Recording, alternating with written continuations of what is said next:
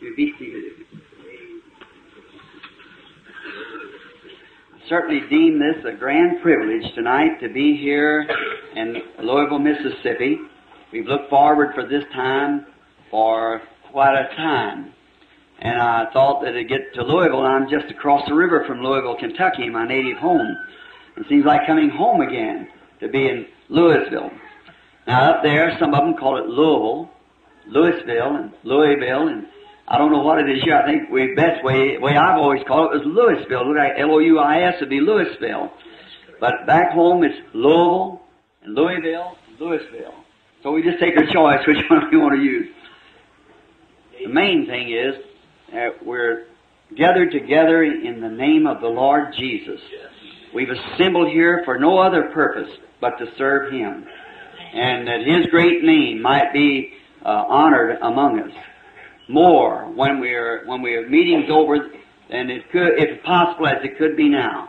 We know that we honor Him with all of our heart.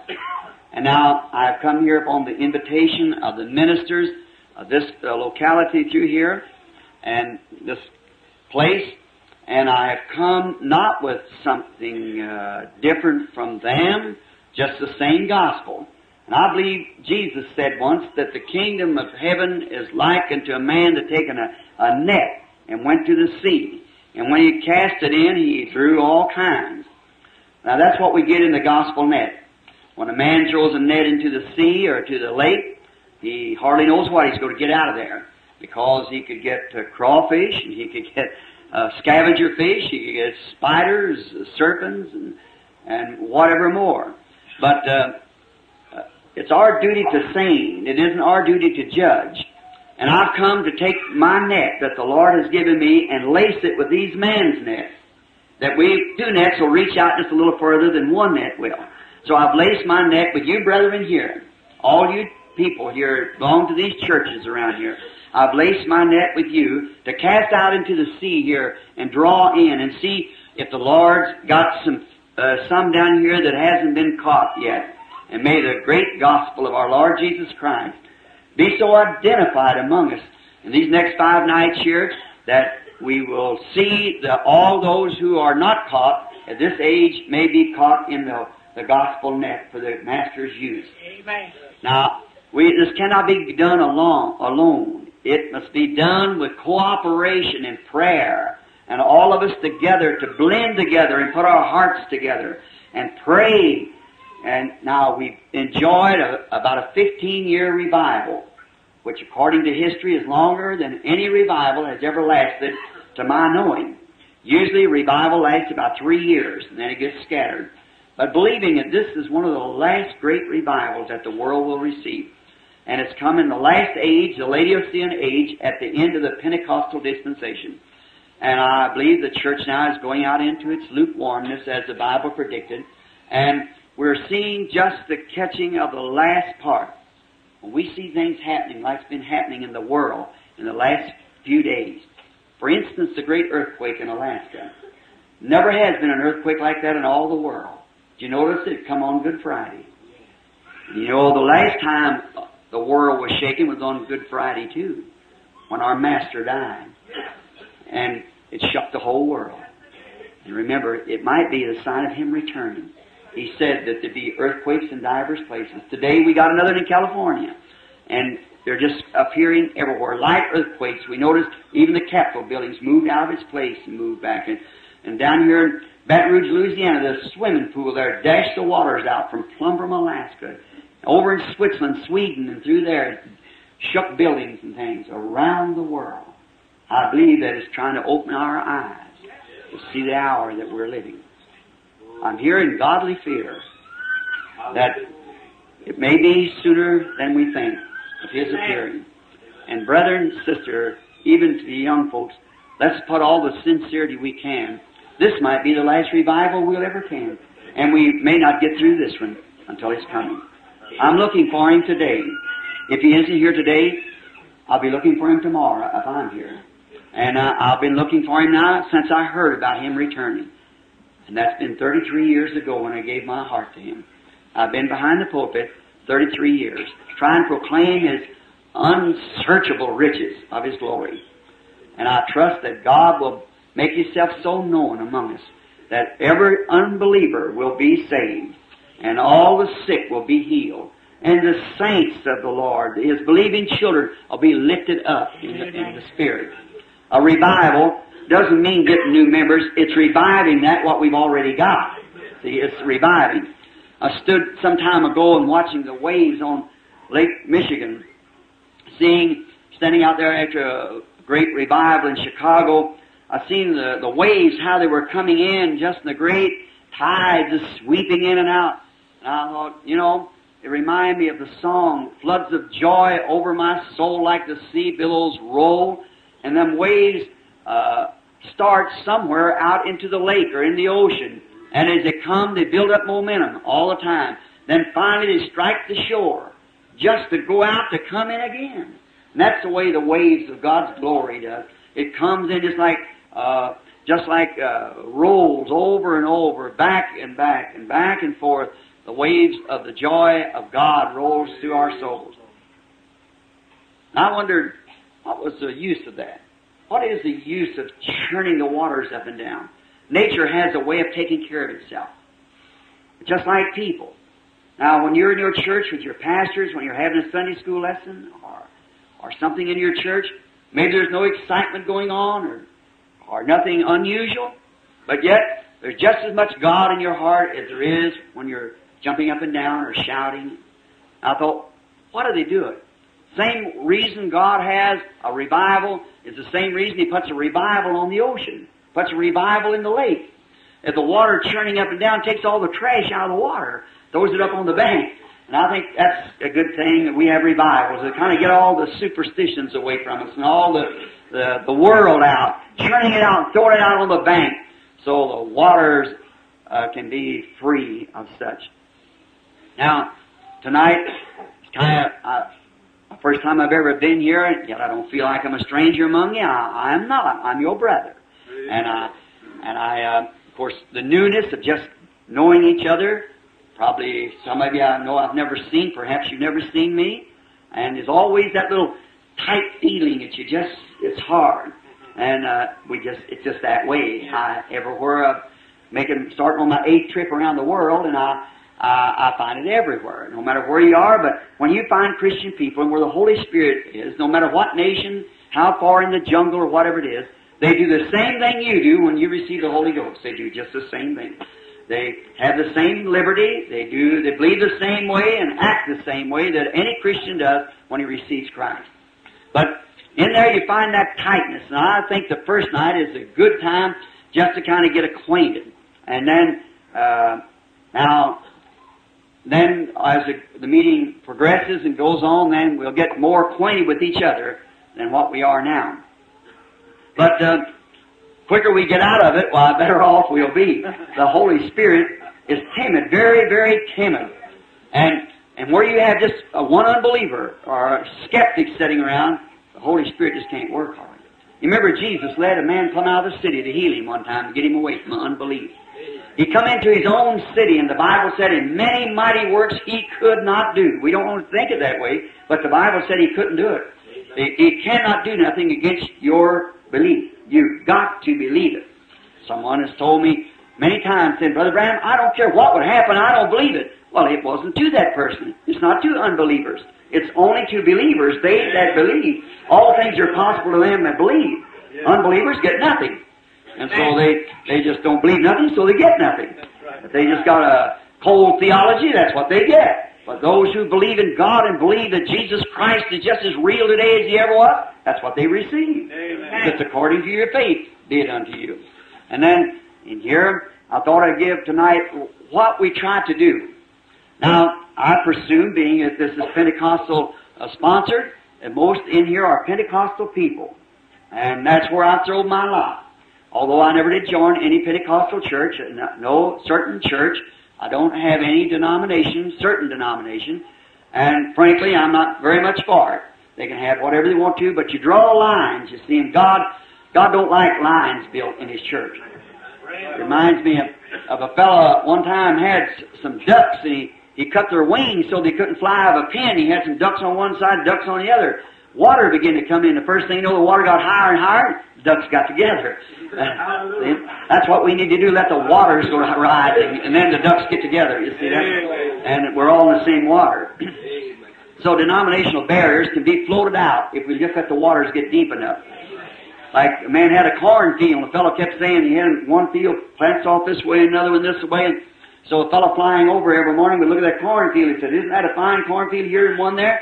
As the corn got a little higher, it reached all the way across the fence. It looked like one field. So I hope it gets that way here, that we're one great, big, heart-to-heart uh, cornfield for God's kingdom. Now, our purpose. Now, many times people say, Brother Branham, the divine healer. No, that is wrong. There's only one healer, that's God. There's no medicine that's a healer, no doctor that's a healer. There's no good doctor that claims to be a healer. And if he does, then he, he's, he's telling you something wrong. I was interviewed at Mayo Brothers, and they said, We do not profess to heal the sick, Mr. Branham. We only profess to assist nature. There's one healer, that's God. And how sensible that is. You could break your arm, a doctor could set it, but he couldn't heal it because he has nothing to heal. It has to build tissue. A doctor might pull a tooth out or cut a appendix out, but who's going to heal? See, the Bible isn't wrong. The Bible's right in every word. I'm the Lord who heals all of thy diseases. Amen. All. No other, no, fa- they found nothing yet that would build tissue. They find medicines that they can poison germs until, until the tissue knits together, but it takes God to heal. God is the only healer that there is. So the Bible is perfectly true. And that's what we stand on, the Bible. It must be, thus saith the Lord. Now, we do believe that God can do things that's not written in His Word because He's God. He does whatever He wishes. But yet, I like to see anything when it comes in the line of a doctrine come out of the Bible. Amen. Because I believe that the Bible is the full revelation of Jesus Christ. The Bible says. That's what it is. It is the revelation of Jesus Christ. And nothing is to be added to it or anything taken from it. So I like to stay right into what it says and what it promises. If he just knew what he promised, that's all I care to see anyhow. And I know I'll see him. Now, in this, we do not try to say we major in divine healing because divine healing is a minor and you can never major on a minor. But about 86%, I think it's estimated, of Jesus' ministry was on divine healing. He, as Dr. Bosworth used to say, my, one of my associates that just went to glory last few years, about being about 84 years old, he said divine healing is a bait that's hook. And you never show the fish the hook, you show him the bait. So he takes the bait and gets the hook. So that's, that's what it is. We want to catch the fish for the Lord's glory. Catch him out of the world and bring him into the kingdom of God. And so divine healing, the main thing is divine healing of the soul, the body of Christ. It means healing worse than anything that I know of is the body of Christ. It's been so broken up by man's theology and denominational differences until it's a sick body. And I, and I tell you, it, it uh, needs healing, great healing. So I, I trust that the Lord will do a great thing towards the healing of His part of the body that's in here. We believe that there is one, one church, and we'll never join it. Next Monday, I'll be 55 years old. And the Branham family never did ask me to join their family. I was born to Branham. that's, how, that's how I am. Uh, that's how we're Christians. We're born a Christian. And you don't join it, you're born into it. And then you take the character of Christ. Now, we find also that in this, many people here in America especially, that's been taught, we have the system, or the, the Lord commanded it, so it's good, of laying hands upon the sick and praying for them. That was the last commission to the church. And that's very good. And it's been carried out down through the ages. Every time a revival broke out in any age, there was divine healing with it. And the supernatural of God. And now we find in this age, am I trying, what I'm trying to achieve is this. There's been so much in this last day of people who preaching divine healing has put so much self-glory in it that it's given a bad taste before the public. Amen. it's been, bless the Lord, brother so-and-so laid hands on me and praise the Lord, I got healed. Now if I could just omit that, if somebody could say, the Lord Jesus made me well, how much better that would be, you see. So, with the little ministry that the Lord has given me is trying to bring him into your presence that you would lay your hands on him, your sacrifice, and be healed. It isn't so much of laying hands, which we do. We all we pray and lay hands on the sick. We don't heal the people. They're already healed. Every person is already healed. How many believes that? Now let's see how our congregation's been taught. It's two thirds of them believes it anyhow. Now um, that he was wounded for our transgressions, with his stripes we were healed. Every attribute that he died for at Calvary is ours from that time on. Everything that he died for. He was wounded for our transgressions, bruised for our iniquity, chastised our peace upon him, with the stripes we were healed.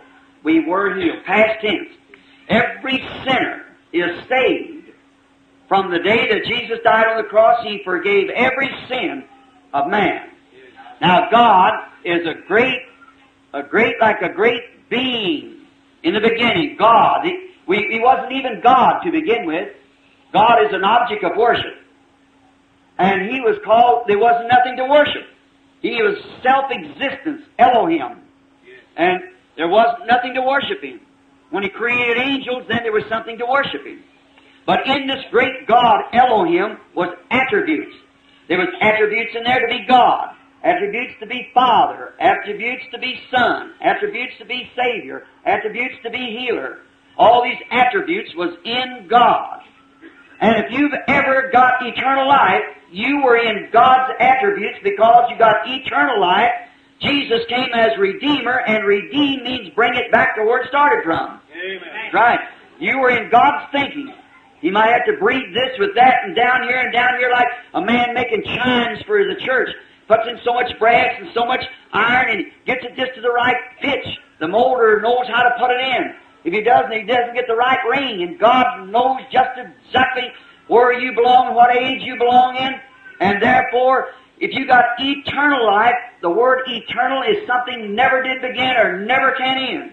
Yes. So whoever you were, see, you were, you always were. You were God's attribute did it displayed. A, a word, in the beginning was a word, and the word is a thought made manifest. You think it, then speak it. Like I'd say, the light. I had to think light before I said light. Microphone, have to say, think microphone, but say a microphone. And we are God's attributes displayed. And I find out, I find two classes of people as I go along. One of them is the fundamentalists, and the other is Pentecostals. Now the Pentecostals got something, but they don't know who they are. And the fundamentalists know something, but ain't got nothing with it. So now there, it's just like a man's got money in the bank and can't write a check, the other can write a check got no money in the bank. If you could ever get that thing together. It would, uh, it would be a great thing. But now, in the face of this, the way we try to carry the meeting is for you, you as an individual, for your need in Christ, salvation, divine healing, or whatever you have need of, is to by faith know that you're in the presence of Christ, and by faith you reach and get it. For that's the only way you'll ever get it. Is by faith we are saved. By faith we're healed. See, nothing that God has to come down and do again. He's already done it. So you see, the whole thing is, is God becoming tangible.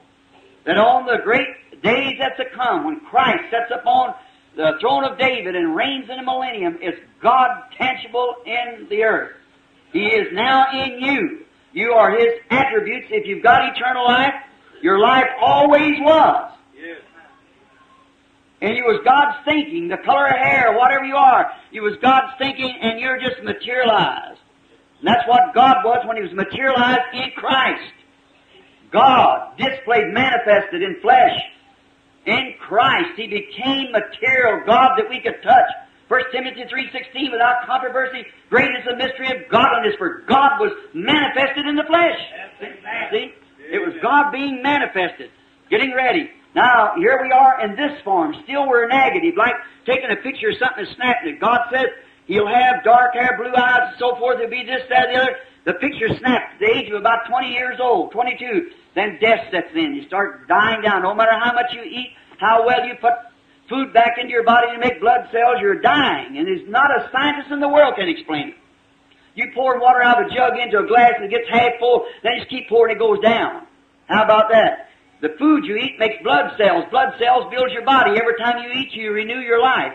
When you were one year old, on up, on up till you got about 22, and then now you're eating the same food. I'm eating the same food I did at 16. At 16, every time I eat, it built muscles and big and strong. I got my full matured. And then after fully matured, I'm eating the same food and better and more of it. And I'm getting older and weaker all the time. But every time I renew my life, then I wouldn't have to die. See? But God has made an appointment. And man must die and face the judgment.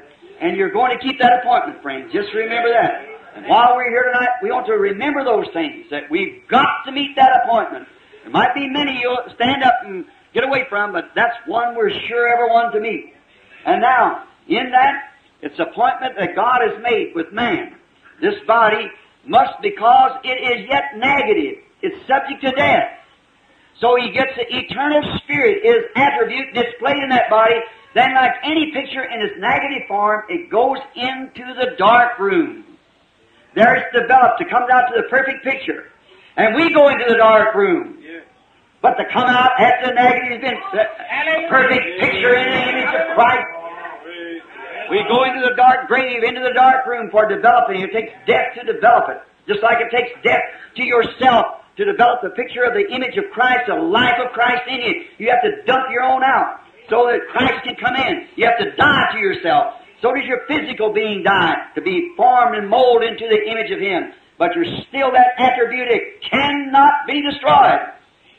It can never be destroyed. It's God in the beginning. It's God above us, God with us, God in us. And it's all the attributes of God. Eternal life to the sons of man.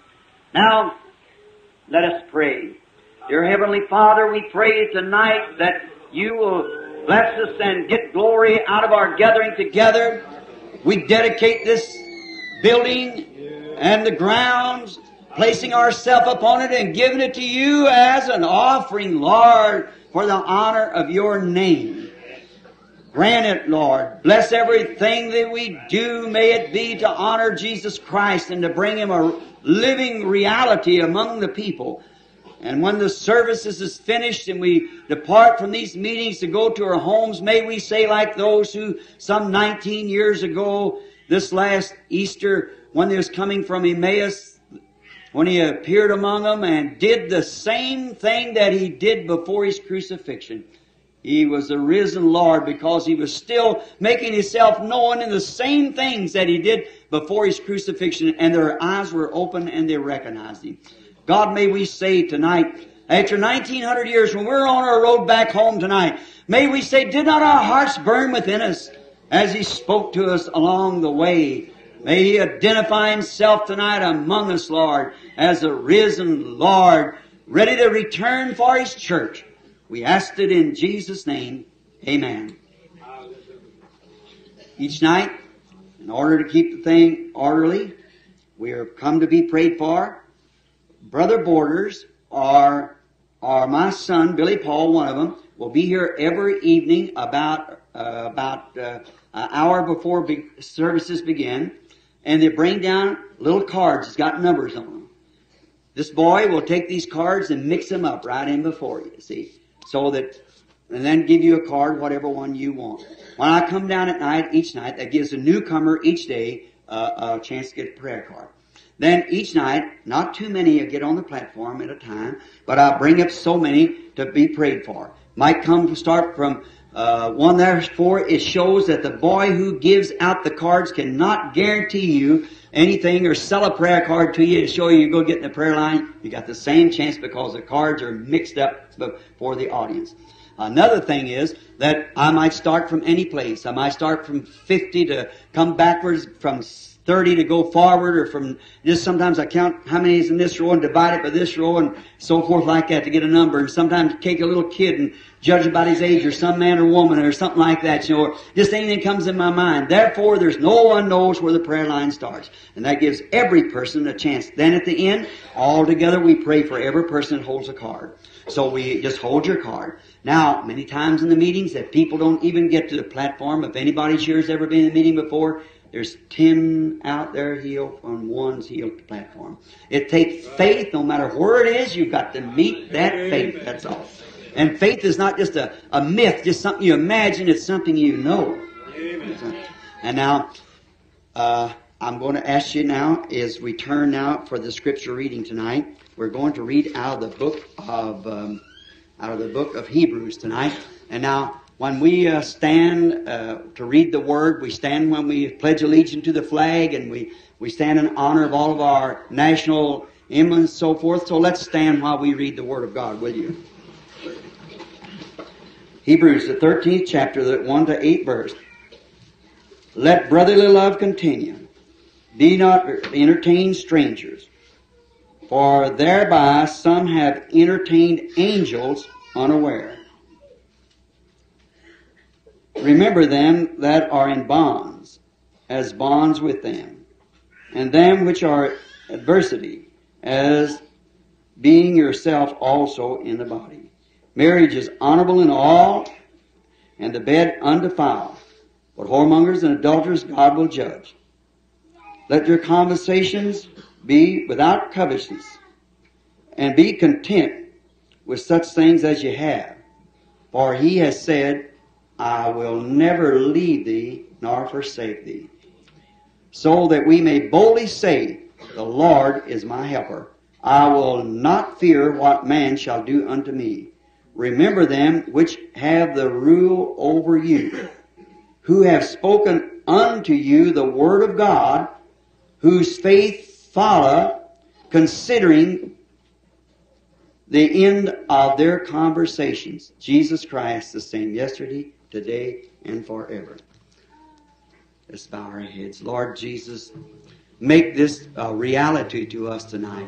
Not just the reading of a word, but may the word become flesh among us.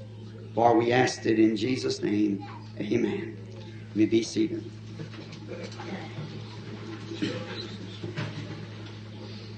As we speak just for a few moments, and each night we're going to try to be out by 9.30 if, uh, if possible. I want to thank my sponsors again and the people let us have the, the place here, the grounds, the stock exhibit or whatever it is. We're very thankful. Now, uh, you're just a nice group to talk to, and I could just talk a long time, but uh, I don't want to weary you. Each night, about 30 minutes. Tonight will be a little longer because of being the first night.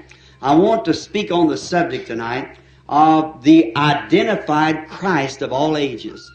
Because the Bible says He's the same yesterday, today, and forever. In the identity of Christ in all ages. Now, did you notice here the scripture saying here that remember those who have rule over you, considering their conversations, you see. At the end of their conversations is Jesus Christ, the same yesterday, today, and forever. So many people uh, have different opinions of Christ. As I travel in, in different parts of the country and around the world, I find that so many people have their different opinions. You'd be surprised to know what some of their opinions are. Some of them thinks that he's just a wonderful teacher. Well, uh, he was uh, he was that. That's just exactly. And many thinks that he was a great philosopher, which he was that. He certainly he was. And then um, some of them uh, think that he was a, a good man. He he was that. But see, he was more than that. He was all of that plus. Some of them think that he was a prophet. He was a prophet, but he was more than a prophet. He was what the prophets was plus. See? So, uh, what, how would we know now uh, if his teaching, uh, uh, of his teachings, he was a teacher and he was a great philosopher.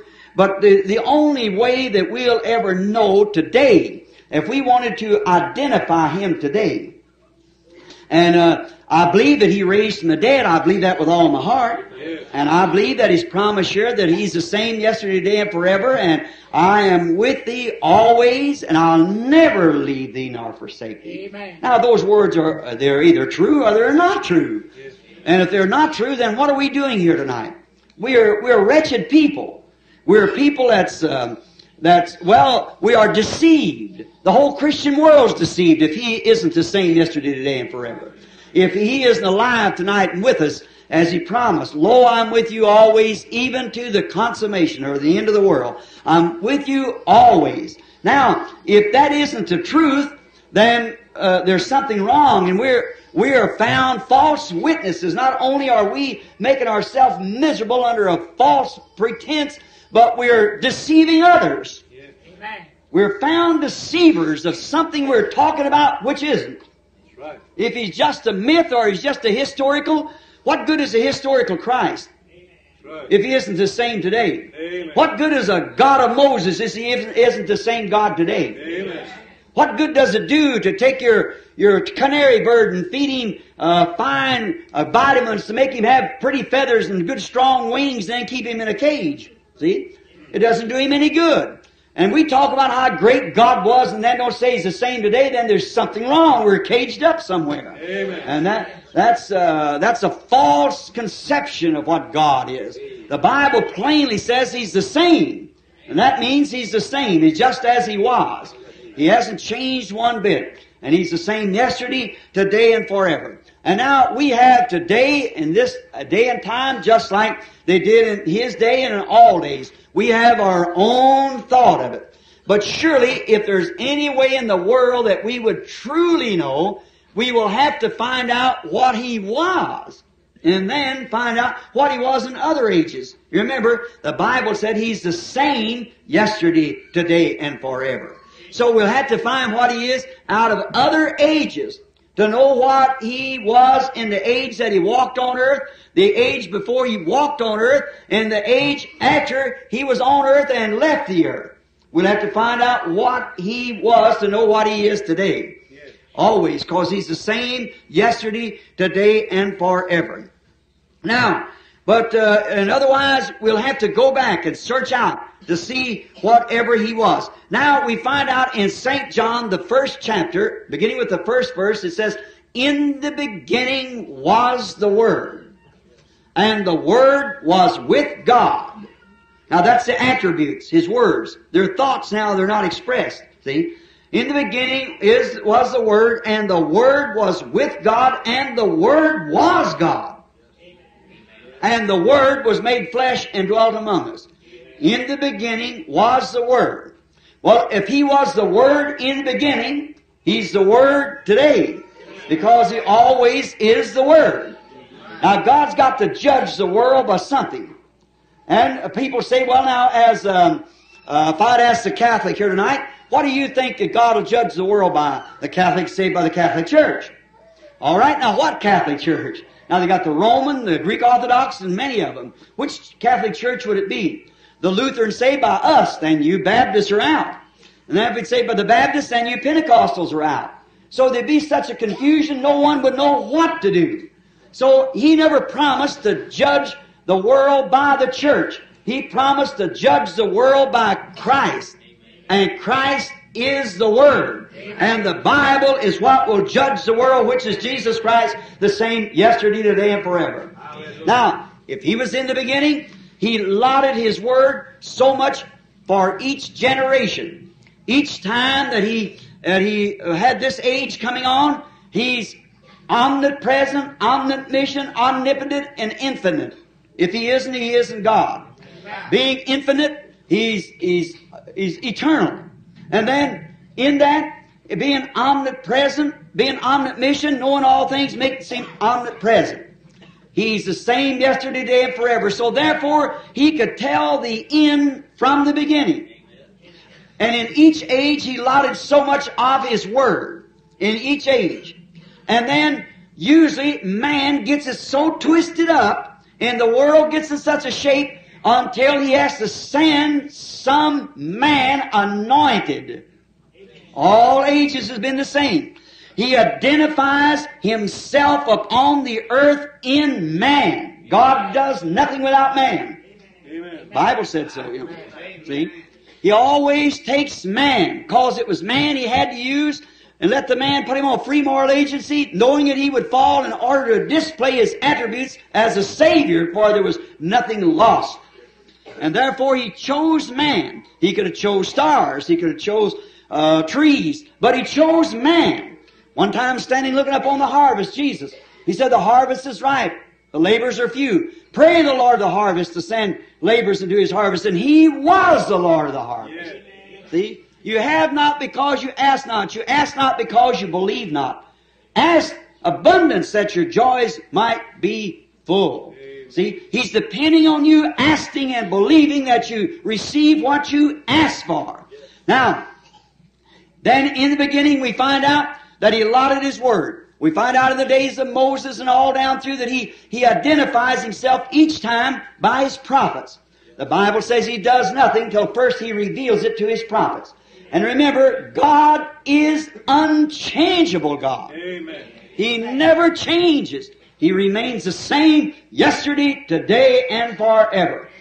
Now we find out in each age that man gets into God's program, they draw up their own mind, and it looks good.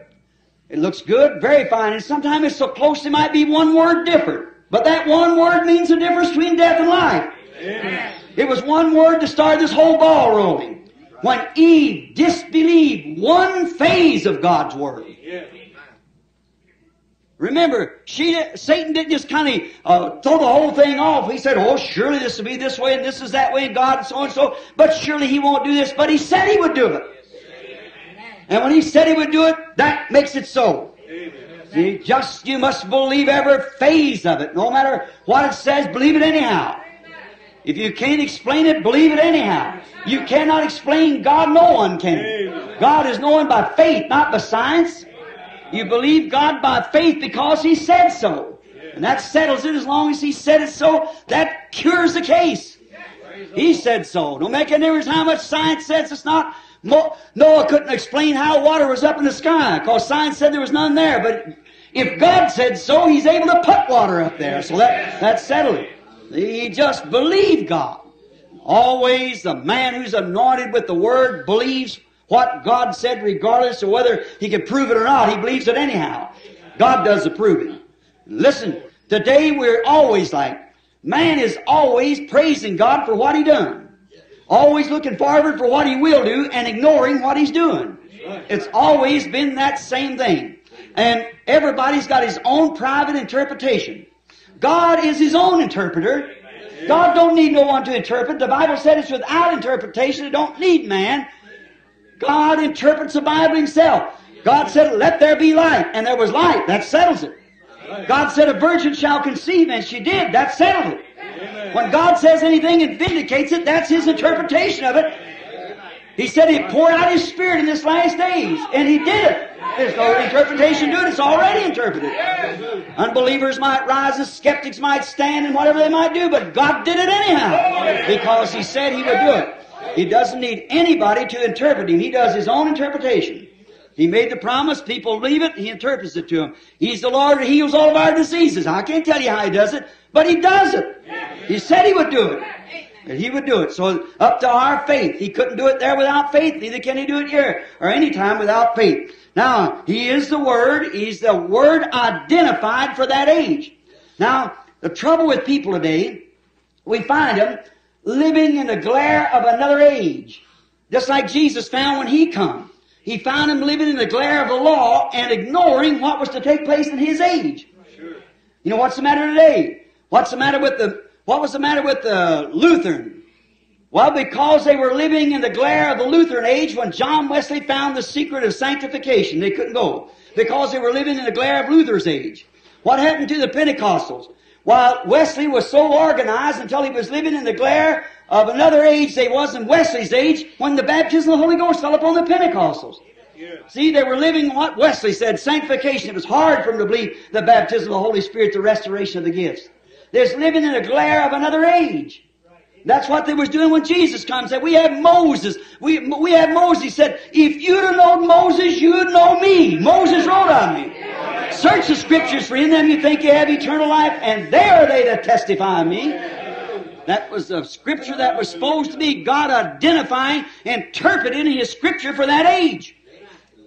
And it's always Christ. It's Christ in every age. He's the same yesterday, today, and forever. It's always been Christ.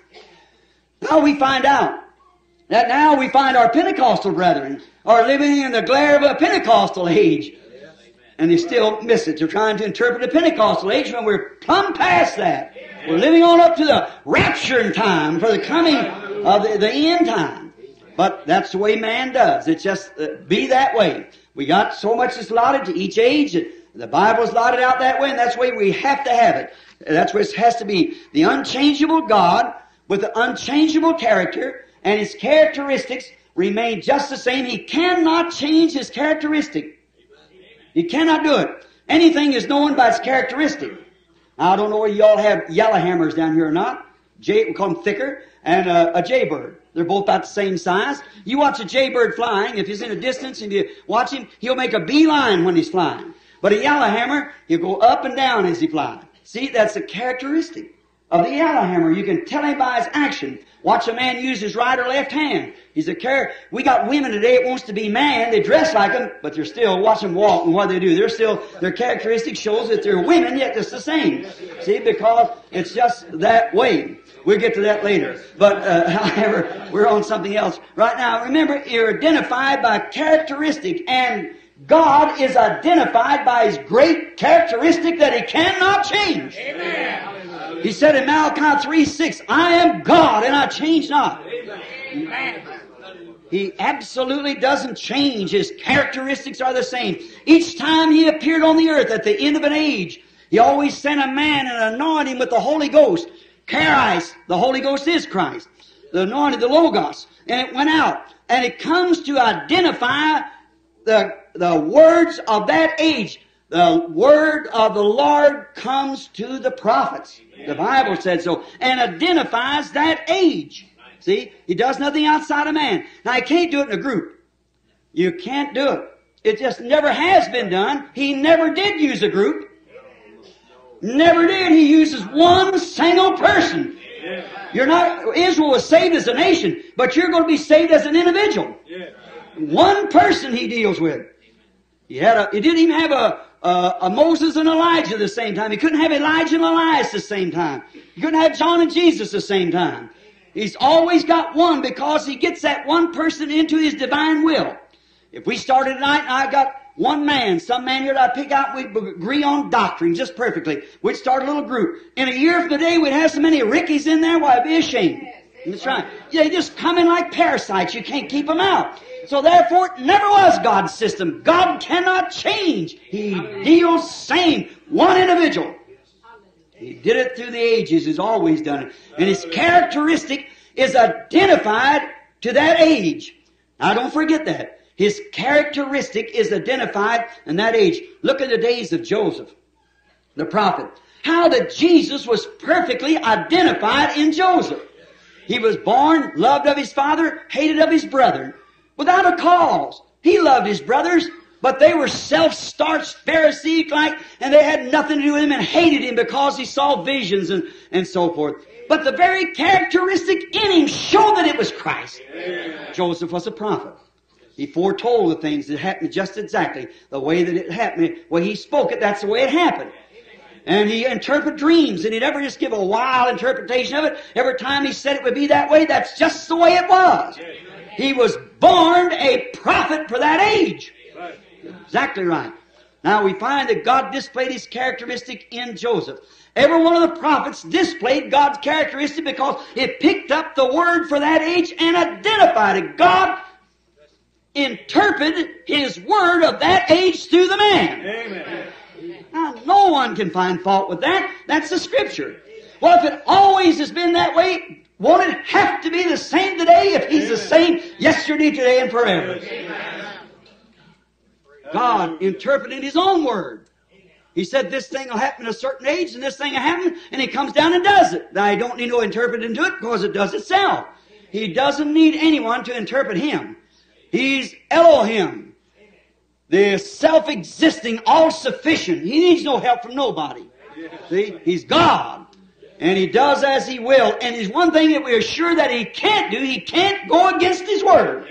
And remain God. He has to keep His Word because the Word is God. And, and God is identified through His promised Word at an age. In a certain, in the days of, now what in the days of Moses? He was identified. He was identified because he was identified by his word. He told Abraham, your seed will sojourn in a strange land for 400 years. I'll bring him out with a mighty hand. Now, when this great big sign happened as a big ball of fire in a burning bush, Moses was a chemist. He was taught in all the wisdom of the Egyptians. What if Moses would have went by with his, with his educational uh, stand and said, look at that funny tree. It's on fire, it's burning, the leaves are popping, and there's nothing being destroyed, being consumed. Now, after that gets through burning, I'll pick some of the leaves and go down to the laboratory and find out what kind of a chemical it's been sprayed with. It had never talked to him. But when he took off his shoes, walked up humbly, that's the way we find God. When we take off our pride and lay it down and walk up in the presence. Listen to that voice then about, I am that I am. I am the God of Abraham, Isaac, and of Jacob. I remember my promise and I see the condition is right. I come down and I'm going to speak and I'm sending you and you'll be my voice. Oh my. That's the way he does it. What did he do it? By identifying himself and his characteristic in the supernatural. The supernatural sometimes is so phenomena. It gets plumb away from the people. The people get to be good people, nice people. But sometimes they misunderstand. That's what, that was the same thing with Joseph. He couldn't understand. He's a son of David. But he couldn't understand how that Mary could conceive. Now, no doubt with them big pretty brown eyes looked into his face and said, uh, honey, I know we're engaged to be married. I got something to tell you. I've had a visit by Gabriel and I'm, I've conceived uh, by the Holy Spirit, he told me. And uh, this thing is going to be born. When I be your son, it'll be the Son of God. And now, Joseph wanted to believe that, but he, he just couldn't believe it hardly. It's too hard for him to believe. But, you know, it was unusual. Uh, uh, women didn't conceive virginally. So it was unusual. And that's the unusual things that God does. It stumbles the people. It brightens, opens the eyes of some and blinds the others at the same time. It's always did that. He, he the unusual things in an unusual way. If Joseph would have only looked into Scripture to find out what was to take place in that day. Now, there was no prophets then. They hadn't had a prophet for 400 years. Malachi was their last prophet. And prophets were very unusual. So they had no prophets in them days. So God took secondarily and gave him a dream and told him, Joseph, thou son of David, fear not taking thee Mary thy wife, for that which is conceived of her in her is of the Holy Ghost. See, God identifying himself. He always does that in the way of the supernatural. Now these Joseph and Moses and we just have plenty time. We can just go on and on with it, but you understand what I mean. That God in every age always sends a individual. One person. So why do you hang on to some group? When they're all together wrong. The Bible said so. Revelation 17 and all be collected in one great group. But out of there will come individuals. That's right with God. Not the group right, the individual right. The individual in the group.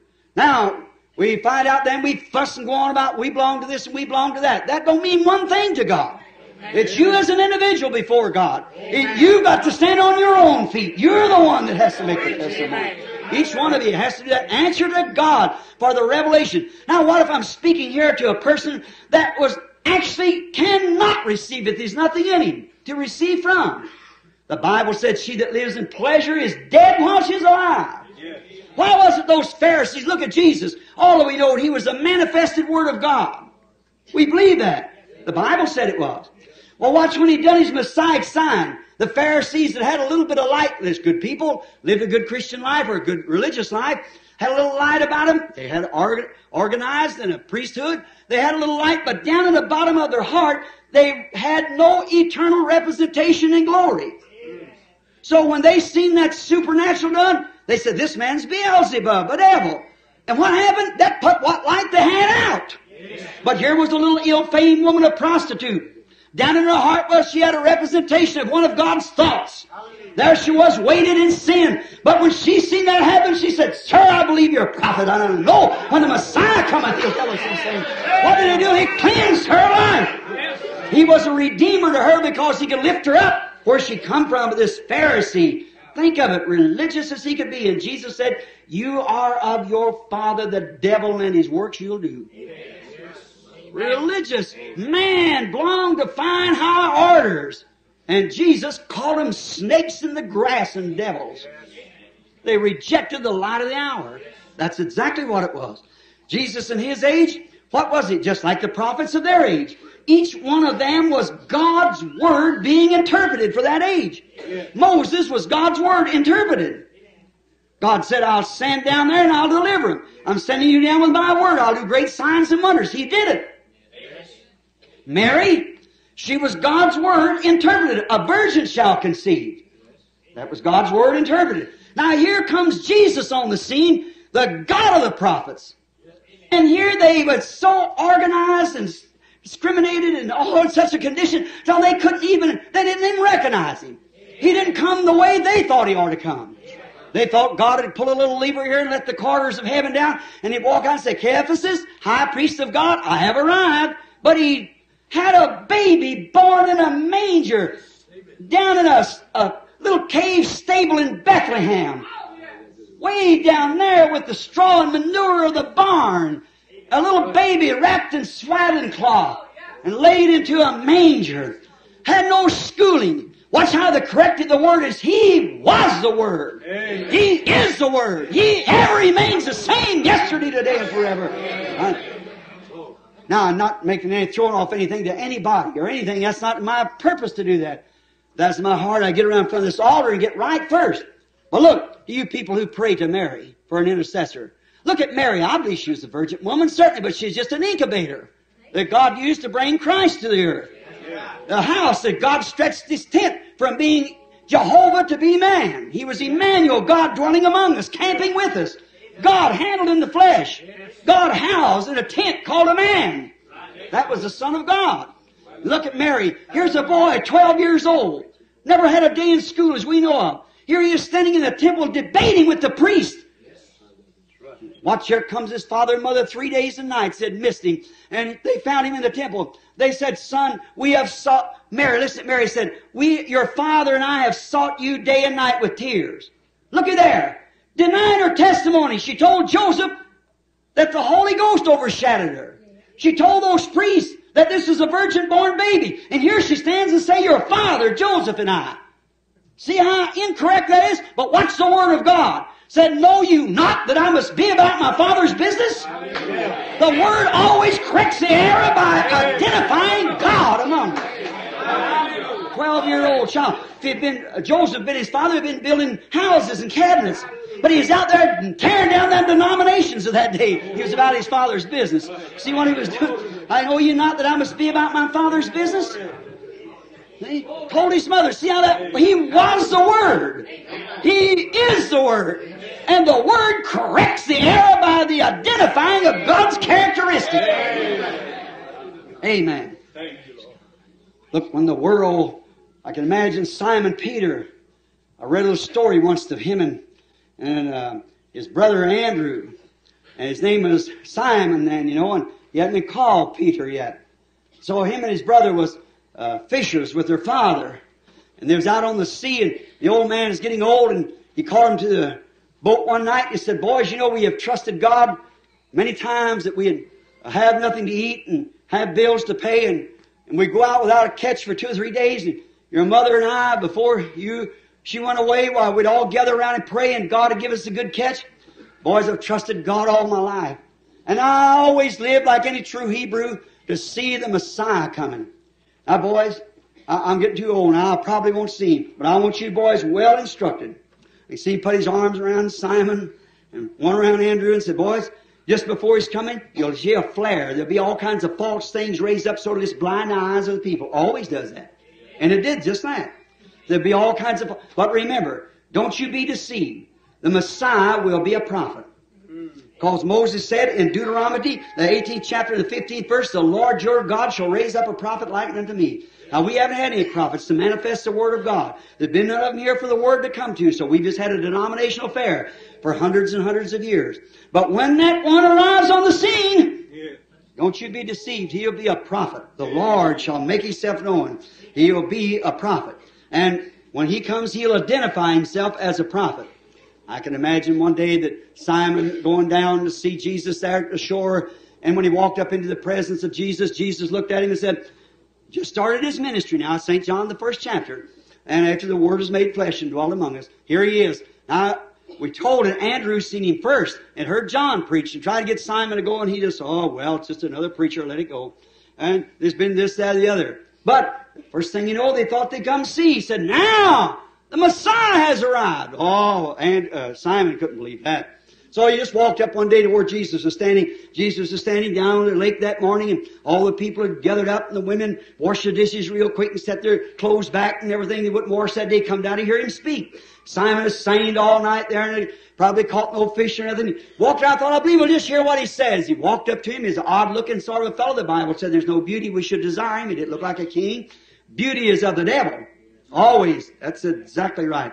And, uh, we might get to that a little later on. So then, find out, we see what Cain offered and see what it was in heaven and find out what this world vain beauty is and what Hollywood's tuck over today, even the church. Yes, sir, it's a false conception of the devil. To miss the beauty of the Lord and holiness and power, not in paint and powder and shorts and everything else that they're trying to wear. No, it's the beauty of the holiness and righteousness. We're not of this world. We're from a kingdom that's above, where dwelleth righteousness of God. They won't adorn themselves with that too much television and so forth. So then we find that Simon walked up into his presence and there stood the one that Andrew believed to be the Messiah. And Jesus, as soon as he looked at, at Simon, he said, Your name is Simon and you're the son of Jonas. he knew then who that was. there was the old joke that that was God identified again right here in the scripture his same characteristic. If Joseph could just looked back there and seen that. Jesus, when he was preaching here on earth, he said, he said, search the scriptures. In them you think you have eternal life. They are the ones that testify of me. If they just had turned back away from the law, the law was for that day, and they were living in that kind of a glare. But here they are today, they couldn't see the scripture identified right there. And they fail to see it, and they've done it in every age, and they'll do it this one too. Amen. Nothing else for them to do that's been predicted they would. So they, they'll do it. There's no way of getting around it. The Laodicea age will do the same thing. Now, watch him there. He stood there and he said, Now, we haven't had a prophet for 400 years. And here's the man who tells me who I am and who my godly father was. That's the Messiah. Now, we are told that Simon was an ignorant and unlearned man, but he was made the head of the church.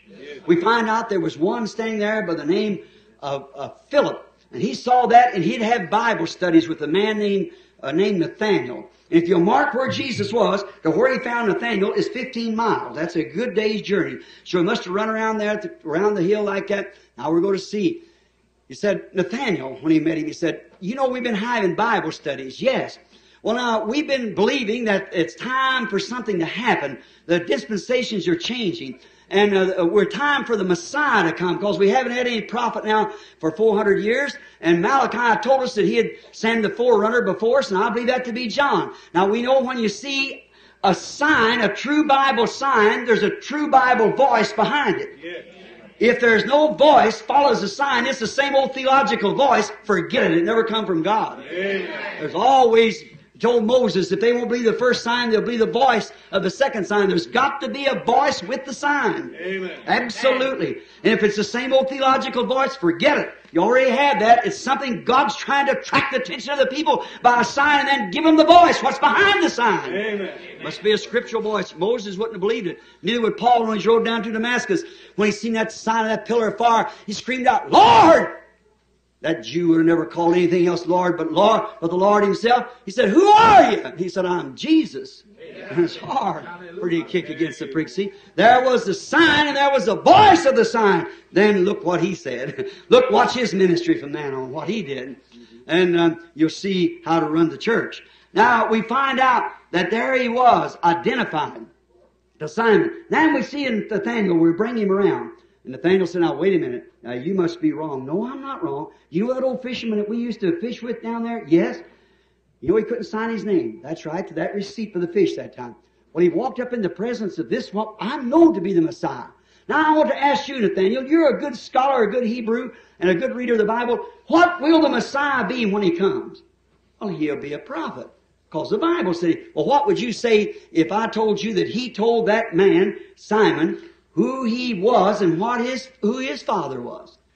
Oh, I can't believe that. Well, let's go find out. Let's go come and see. Could anything good come out of Nazareth? He said. He said, come and see. That's a good question. Don't stay home and criticize it. Come and see for yourself. So come bring your Bible and search it. Here he come. Could any good thing come out of Nazareth? He said, come see. And when he walked up into the presence of Jesus, Jesus looked at him. Now he said, Behold an Israelite in whom there's no guile. He said, Rabbi, when did you ever know me? He said, Before Philip called you, when you were under the tree, I saw you. He said, Rabbi, thou art the Son of God. Thou art the King of Israel. Why? His characteristic identified him. Why? Hebrews, the fourth chapter, the twelfth verse, says that the Word of God is more powerful, more sharper than a two-edged sword, dividing asunder and a discerner of the thoughts and intents of the heart. That's what the prophets did, and they were the Word. They were the Word in their age. But here was the fullness of the Word. See? They was the one who could tell them what happened, discern the thoughts and what was and what is and what is to come. So there he was standing there. Oh, there was some of them stood there said they had to give an answer to their congregation. They had to do it because the, the mighty works was done and they couldn't deny it. See, they already had healing. As far as healing was concerned, they had the pool of Bethesda up there. You know, they, uh, Bethesda, they went into that pool and got healed. They had divine healing in every age. But here was a prophet. They, they had to do it. You know what they said? This man's Beelzebub, a fortune teller. He does the, Jesus said, I forgive you for that. But when the Holy Ghost comes in another age to do the same word, one well, works, one word against it will never be forgiven. Not in this world, the world to come. That's blasphemy, calling the Spirit of God an unclean spirit that's doing the work of God. Think of that real hard now. Remember, keep that on your mind. Yes, that's how he was identified yesterday. That was Jesus yesterday. If he's the same today, he'd do the same. That's how he made himself known as the Messiah. That's how they knowed him by that word. Look, that's, there's only three three races of people. That's Jew, Gentile, and Samaritan. That's the, the Ham, Shem, and Japheth people. Now, if we believe the Bible, they all come from the sons of Noah. That's a Jew, Gentile, and Samaritan. Now, the Gentile wasn't looking for no, no uh, Messiah. We had a club on our back and worshiping a heathen god. We Anglo-Saxon and so forth in them days, we were heathens, Romans and Greeks and so forth. We wasn't looking for no Messiah. But the Hebrews was looking for it. And he, remember, get this close now, he only appears to those who are looking for him. Only appears to those who are looking for him. Makes himself known to those who are looking for him. And he made himself known to the Jews. Many times we'll get later on the week, get more characters, but right now, now there's a Samaritan, they're looking for him too. So he was on his road down to Jericho, so he had to go up by the way of Samaria, and he come to a city, Sychar. About 11 o'clock or 12, he sent the disciples into the city to get some victuals. While they were gone, an ill-famed woman of the city came out. Maybe a pretty girl. She probably, uh, you know, had been turned out by her parents and everything, and she'd seen nothing in the church, so she just made her living in a bad way by having too many husbands. And she come to the well, and there was Jesus sitting there, a Jew. He probably looked a little older than what he really was, because he's only 30, and we find out in St. John 6 that they claimed he looked like he was 50. He said, you're not over 50 years old. And say, you've seen Abraham. He said, before Abraham was, I am.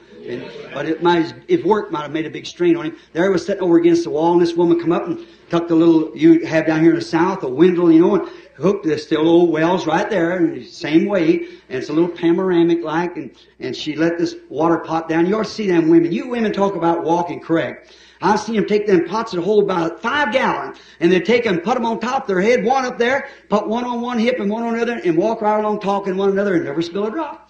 Just walk just as nice as you ever seen. Now, in the East, see, the bad women and the good women can't associate together. Uh, it's different here, but but they can't there. She's marked, she's marked. That's all. If she ever has the wrong husband, she ain't no more associated with. But there, it's all messed together here. Now we find out, but there it wasn't. So she couldn't come with the virgins of the morning, so she had to come up about noon to get hers water. So she started to let down the water pot, but there was a predestinated seed in that little woman. She let down that water pot. She heard a man say, "Give me a drink. Bring me a drink." She turned and looked around. She seen this Jew. And this Jew, maybe a middle-aged man, I don't know what was in her thoughts saying. So she said, um, uh, why, it's not customary for you, uh, being a Jew and ask me a woman of Samaria. See, she didn't know what it was, what it was. She just, maybe the man's maybe getting smart with her. So he said, it's not customary for you Jews. And uh, so the conversation went on. What was he trying to do? He is trying to attract her attention. The father had sent him up there, but now he had to find out why up there. They were looking for a Messiah. He had done identified himself with the Jews. Now here he is with the with the with the Samaritans, and said, uh, "It's not customary for you to, to to ask me, a woman of Samaria, for such." So he said, "But if you knew who you were talking to, you'd ask me for a drink. I'd give you waters you don't come here to draw." And they went talk about worship. Directly he found what her trouble was. We all know what it was. Too many husbands. He looked at her and said, Woman, go get your husband and come here. She said, I don't have any husband. He said, You told the truth. Or you've got five, and the one you're living with now is not yours. What's that woman? Look at the difference between her and that organization. Watch her as an individual? What's those Pharisees said, this man's Beelzebub. Look at her, not her. She turned and she said, Sir, I perceive that you are a prophet. Ah, there's that light. See, Amen. when the sun hits the seed in the right kind, it's going to bring forth life, just as sure as the world. Struck that seed in that little prostitute's heart. She said, Sir, I perceive that you are a prophet. Now, we know it's, we have been hundreds of years since we had a prophet. And we know that when Messiah cometh, we're looking for Him. And when Messiah cometh, this is the thing He's going to do. That's the sign of the Messiah, don't you see? It was the Messiah that was in Moses.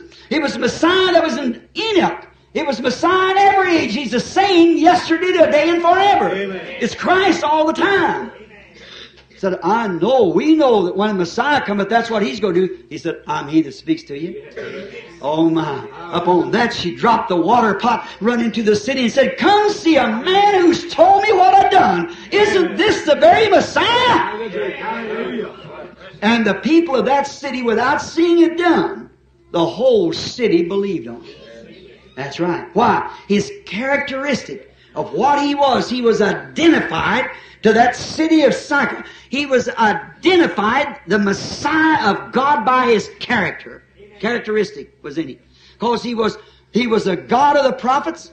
He was the prophet. He was the prophet manifested. He's always been down through the age the same. And if he's the same yesterday, today, and forever. Now, to hurry and close, we're told in Zechariah 14, 6 and 7, that there'll come a day, the prophet prophesied, that you can't be called day or night. It's a gloomy, dismal, dark day. But in the evening time, it shall be light. The Bible said so.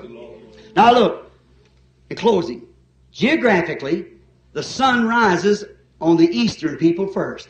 It rises in the east and sets in the west. Now follow me close. Civilization has traveled with the sun. We all know that, don't we? So has the gospel. The gospel started in the east. It come from the east across over into Germany, across the Mediterranean, into Germany. From Germany, across the English Channel into England. From there, across the Atlantic into the United States on the east coast. And it's traveled to the west coast. Now the east and west is met. And the same sun that rises in the east is the same sun that sets in the west. Now watch, the sun, S-O-N, rose as the Messiah on the eastern people. And now we've had a day since his going away of denominations and gets together and, and so forth. We've had enough light like a gloomy day when the sun's hid the clouds. And they've had denominations, we built hospitals, we built schools, we built organizations, we've done all these things just exactly the way that we're supposed to do it. But he said, in the evening time, it shall be light. That same Jesus, in his resurrected power, Hallelujah. will arise again as he promised in Malachi 4, as he promised in St. John 14, 12, as he promised in Luke 17, as it was in the days of Sodom, so shall it be at the coming of the Son of Man. Look what happened in the days of Sodom. Abraham, one with the promise of the coming son. Here we find him down there, and we see the sign that was done down there in Sodom. We see what taken place.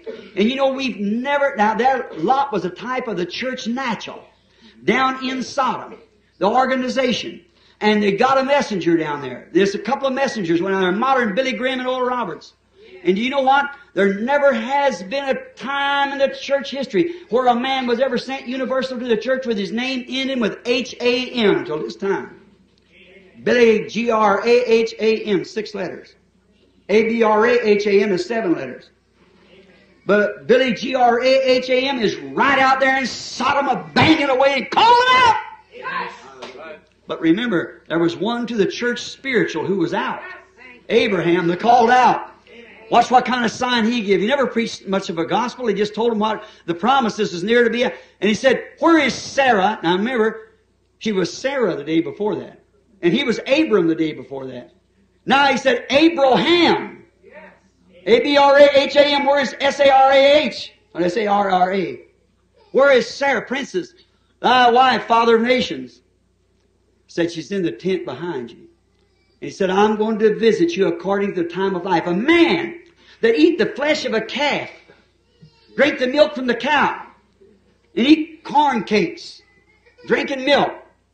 A man, dust on his clothes, and sitting there with his back turned to the tent, said, Where's Sarah thy wife? Said, She's in the tent behind you. And Sarah said, Me, an old woman, as I am, hundred years old, as husband and wife is ceased long, said, Have pleasure with my Lord and him old too. The Bible said, well stricken, been years and years, she's 45 years past menopause, or longer than that, maybe 55 years past menopause. And me have pleasure with my husband as a young woman. She laughed up her sleeve. You know, and that what that man, that man in that human flesh said, why did Sarah laugh? That's right. Amen. What happened? Abraham called that man Elohim. Amen. Almighty God represented a human being. Yes. Jesus our Lord said, as it was in the days of Lot, so shall it be at the coming. Watch when the Son of Man is being manifested, made known. Amen. Luke 17. When the Son of Man in the last days is being revealed, the Son of Man being revealed, His gospel is identifying Him. As it was in the days of Lot, look how they're doing now, perverted nations, oh my. Look at the homosexuals and look at what we got now. The church is a mess, the nation is a mess, and the whole thing, God's belching it out from the top bottom of the earth. The whole thing is a mess geographically and also in material. The scene is set. Isn't it time for God to come back in human flesh? Amen. The Word that's sharper than a two-edged sword and a discerner of the thoughts and intents of the heart to appear on the scene to make Jesus Christ the same yesterday, today, and for it's a promised word that's been lauded for this day. We're living in this day. And God is here with us to manifest that and make it true. Let us bow our heads. Heavenly Father, you said it shall be light in the evening time. We see, Lord, all signs. Nations are breaking. Israel's in her homeland. Earthquakes in divers places. Man's heart's failing. Perverted minds. Reprobate concerning the truth. As Jambres and Jannes withstood Moses, you said, man of reprobated mind. Given over to delusions to believe a lie and be damned by it. But you promised in that day that you'd make yourself known. The Son of Man would be revealed, Jesus Christ, the same yesterday, today, and forever, by same characteristic that identified him in every age.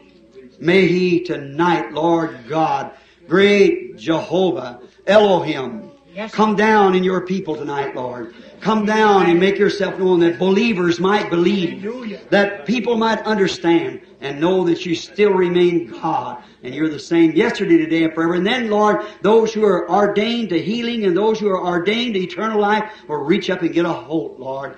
For this is the time of visitation. May it not pass in vain. I ask in Jesus Christ's name. Amen. How many believes that's the truth? That's the gospel. Hallelujah. Now, are we living in that day? That's the next thing. If it is, God's solemnly obligated to identify.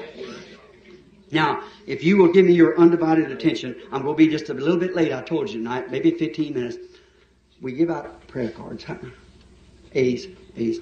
All right, let's start right quick. A number one. Now I'll call you just one at a time, so you stand right over here if you will. A number one. Who's got prayer card A number one? Raise up your hand. Now, if you can't raise up, I'll, some of them will come get you. A number one. All right. Now just come as your call. Just your number. All right. A number one. All right. Number two. Would you raise up your hand? Number two. Prayer card A number two.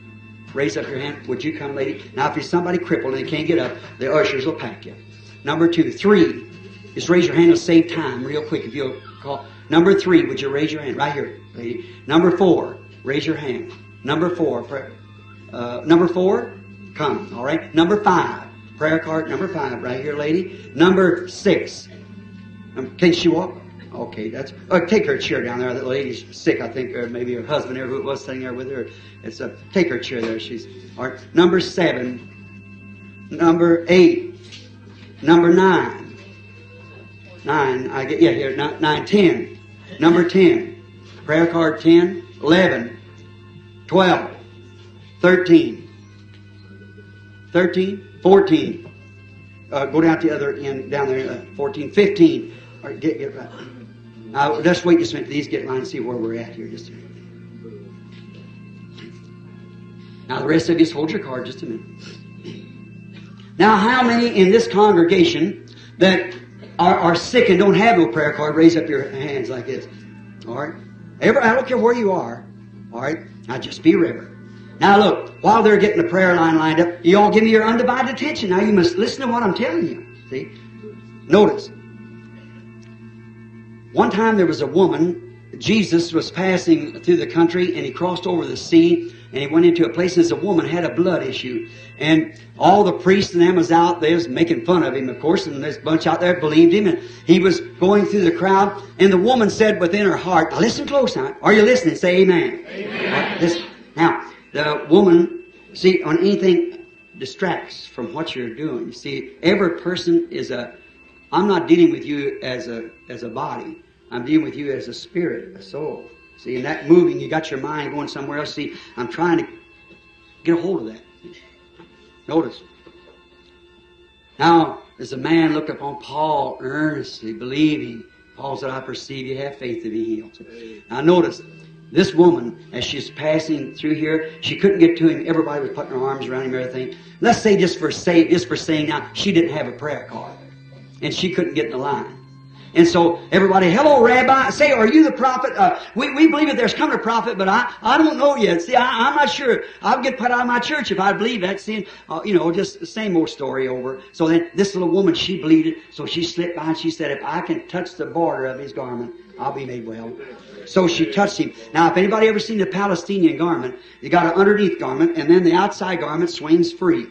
Now, if some woman touched one of you man's coat, just the tail of your coat like that, went away, you'd never know it in a crowd like that. How about that big garment hanging that far out from him? And she was down on her knees and just touched his garment and went back. Jesus stopped. He said, Who touched me? And look what Peter said now with the keys to the kingdom. In other words, let's just put it in our day's word. Well, Lord, you say well, some of the awfulest things, well, then people will think that you're crazy. There's something wrong. Everybody's touchy. Everybody said, hello, Rabbi. Say, are you the divine healer? Say, so you? And say, well, got a graveyard full of people up here. If you want to raise one for us, uh, come up and we'll believe you if you'll do that. Yes, some for him, some against, just like it is in every crowd. See? And making fun and some believing him. And Peter said, why everybody's touching you. Why would you say such a thing as that? He said, but I perceive that I have gotten weak. Virtue's gone from me. That's strength. Look, he looked around on the audience and he found the little woman. She couldn't hide it. See, she had that seed laying in there. Oh God, give us that seed. That's what we need right now. He found her and he told her of her blood issue. Said her faith had healed her. Look, you say that if he was here tonight, I'd do the same thing. If he walked down through this building tonight, you believe you touch him, you'd be made whole? Well, let me tell you. In the book of Hebrews, the third chapter, it says that he is right now a high priest that can be touched by the feeling of our infirmities. Amen. How many believe that to be the truth? Amen. Well, if he's the same yesterday, today, and forever, how would he act today? The same as did yesterday. Is that right? Now, you don't have to be up here. You just believe and you say this, now Lord, I, I, this is all strange, but the man tells it out of the Bible. It sounds, it sounds strange in every age. But search it and see if the scriptures. Jesus said, search the scriptures. They testify of me.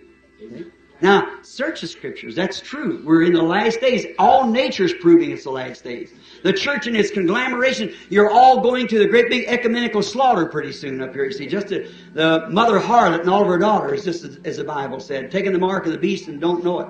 See? All, we get to that later. Notice, now, while he's present, if we can get his presence here, you out there without a prayer card, you touch his garment. He's a high priest. How you do it with your faith? Touch his garment and see if he don't turn and do the same thing he did then. The Bible said He's the same yesterday, today, and forever. That would be very convincing. You believe that? Right. Now, everybody, don't nobody stir around now. Be real reverent. See, you must respect the Holy Spirit. Respect. Only way you'll ever get anything from God is to respect His message. Respect it.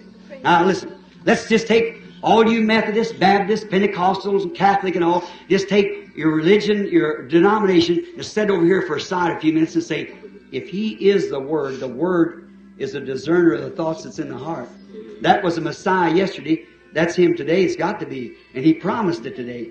Now, now here's a little lady standing here. Now, don't nobody move. Just be real reverent. Stand still. Now, I buy, buy a gift. Now, a gift is just not something you take like a, a chopping axe and go to chopping and cutting away. That's wrong. A gift is know how to get yourself out of the way. It's just relax yourself and get yourself out, and then God comes in and uses you the way He wants to.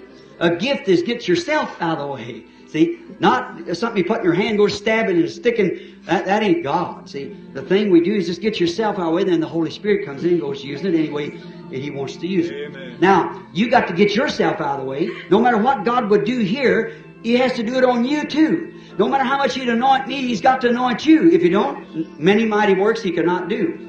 Now, I believe I seen some a little boy look like sat over here in a wheelchair or something. I thought I seen a man back there. No matter what it is, where you are, now you just believe. Here's a little woman has sat here bowed over.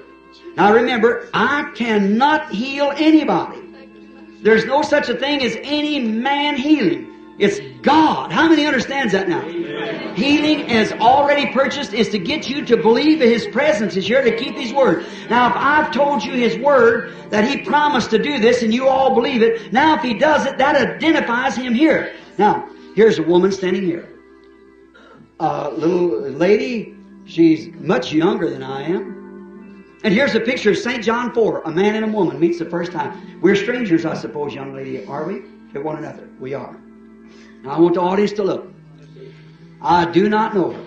I have never seen her. You heard her just say. I don't know her. She doesn't know me. Here we stand.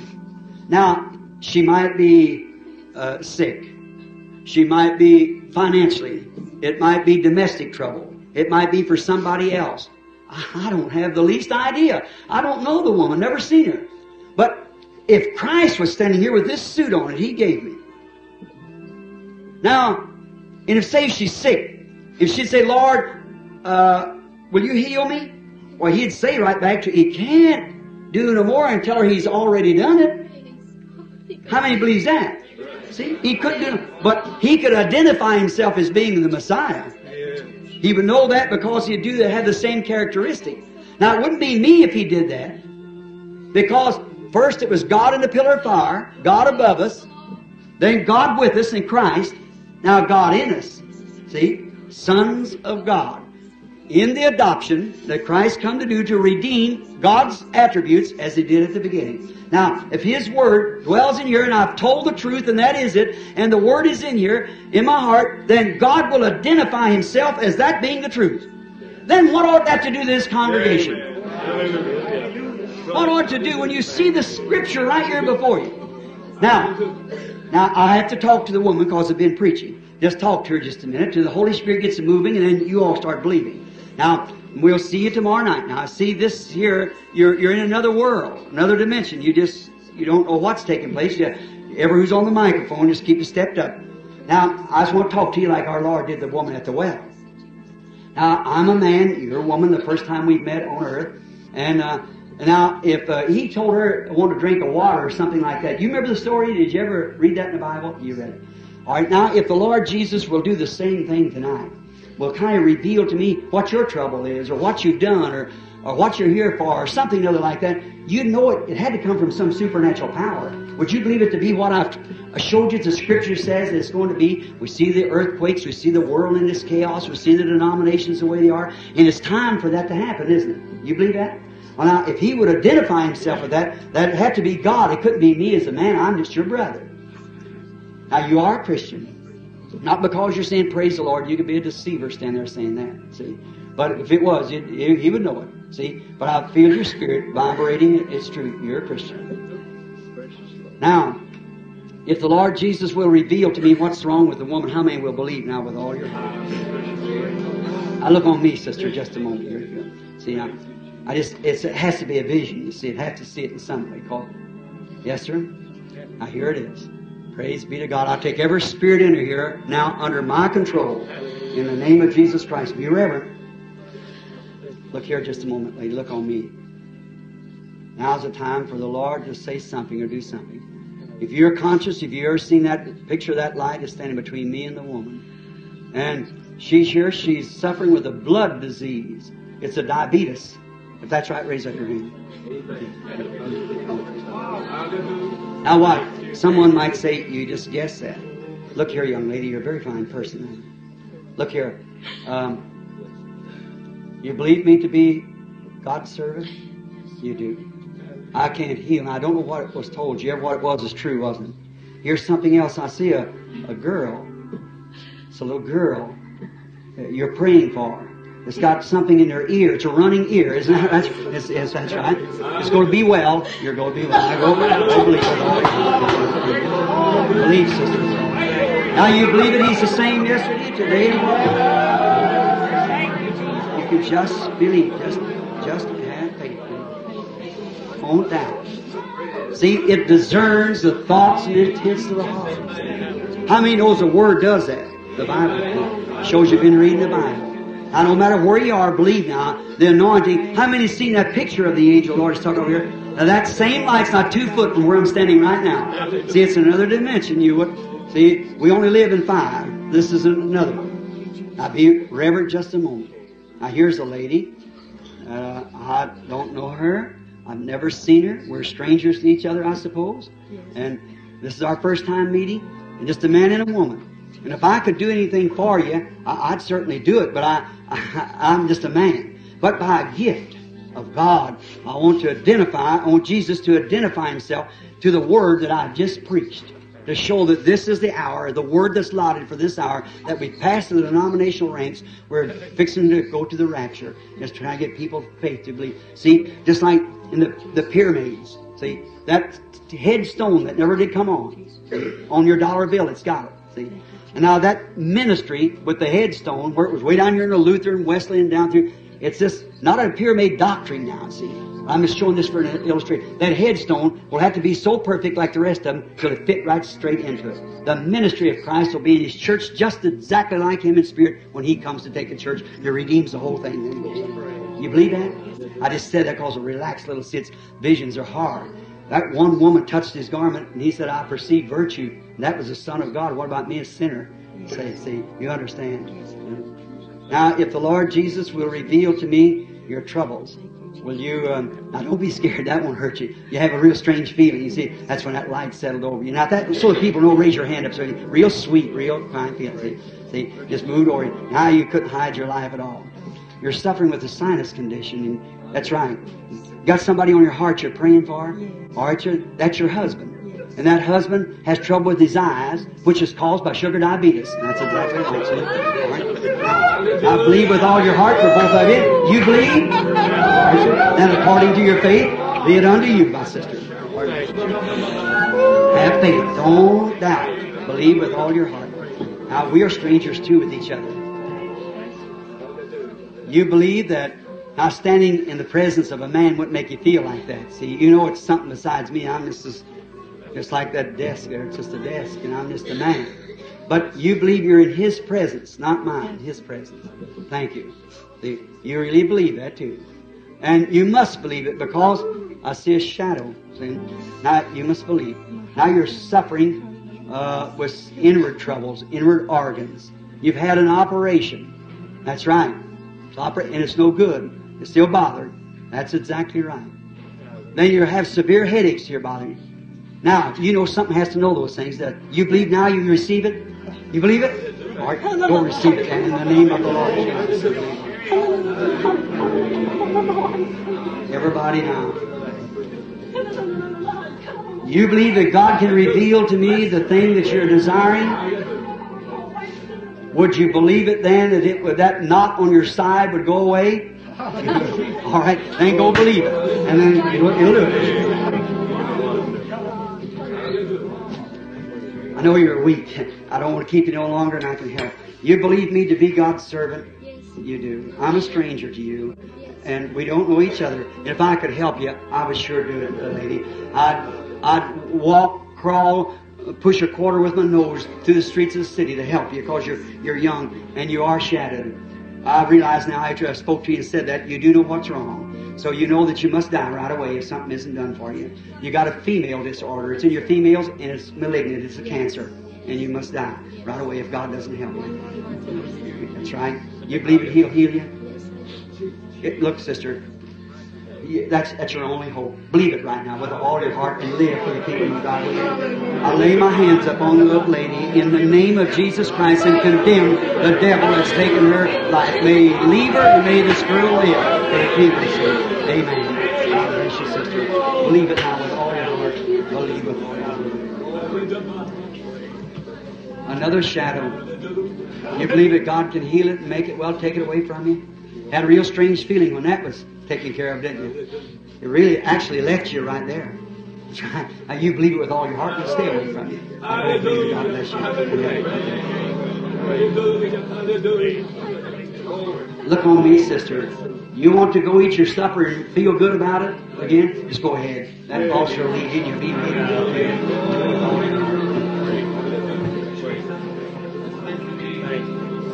Look this way, lady. What you scared of? You got a nervous condition. It's been bothering you for a long time. You believe that God can heal that nervousness and make 90% of this audience is vibrating with the same thing right now. And that's exactly right. See, you want a place to put your foot always. You, uh, they all tell you get next to yourself and believe this, that. But you got to have a starting place. You're on it right now. Believe it, will you? The Word of God says you're free. Do you believe it? All right, go and be free of that. God bless you, sister. You believe God can heal diabetes and make you well? You do? Just keep moving, saying, Thank you, Lord Jesus. I'll go and believe it with all my heart. Nervous? Ladies trouble and you have female disorder. Do you believe that God can have stomach trouble too? Do you believe that God can make you well? Go on your road rejoicing, saying, Thank you, Lord. Look on me, sir. You're a mighty strong man, but them nerves are mighty weak. You believe it's going to be ended tonight? Go receive it in the name of the Lord Jesus. Believe it with all your heart. Come, sister. Look this way. Yes, I see you trying to get up, crippled at the side of the bed. You've got arthritis. You believe that God will make you well? Just go on, believe it, and say, Jesus Christ makes me well. Believe it with all your heart. My sister, do you believe that God can heal that diabetes and make you well too? Or go on your road and say, Thank you, Lord Jesus. Come, lady. He would like to make you believe you're going to lose your mind. He's been telling you that, but he's a liar. You're free now. Go on and rejoice. Jesus Christ makes you.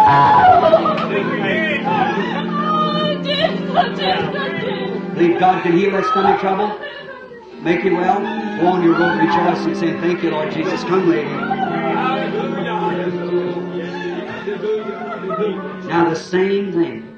Don't you let them tell you that. It's a nervous condition. You believe that God's going to make you well tonight. Your only hope of good. Start on your road rejoicing, happy, smiling, and be like you used to be. You believe with all your hearts? How many believes now with all your hearts? I,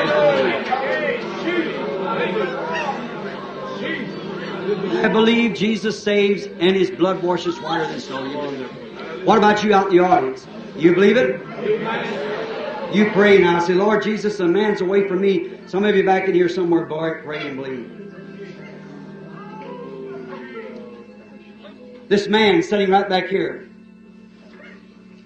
Gallbladder trouble. You believe God will heal the gallbladder and make you well? You, your faith, you touched something. I don't know him, but he touched something. That lady rejoicing next to you there. You believe that God will heal the arthritis in you, lady, and make you well? You believe it? All right, you can, you can have yours. The one sitting right next to you got trouble with your eye. Do you believe God will heal that eye trouble and make you well? All right, if you believe it, you can have it also. One sitting right next to you's got trouble with the lip. You believe that God will heal that growth on your lip, make you well? You can have yours also. I challenge you to believe it. Amen. Have faith in God. Don't doubt. Just believe. Have faith. A lady saying you're looking back there so honestly, sitting back suffering with heart trouble. You believe that God will heal the heart trouble and make you well, lady? If you do, you can have what you ask for. Yeah. Now you put your handkerchief up to your face. You got trouble with your neck and with your back. It's caused from an automobile accident. You just hit an automobile. It's hurt your neck and back. Do you believe you're going to get well? You can have what you ask for. What about over here? Somebody over here wants to believe? There sits a lady looking at me. Is real nervous, sitting right there looking at me. That's her son sitting next to her. It's got heart trouble. Do You believe that God will heal both of you? Do you raise up your hands? Say, I accept it. Then you can be healed in the name of Jesus Christ. God's characteristics identify Himself. Do you believe He's here? How many believers? Lay your hands on one another. Put your hands over on one another. Put your hands on each other then. Our Heavenly Father, in the name of Jesus Christ, may the devil leave this audience and may be cast out into outer darkness.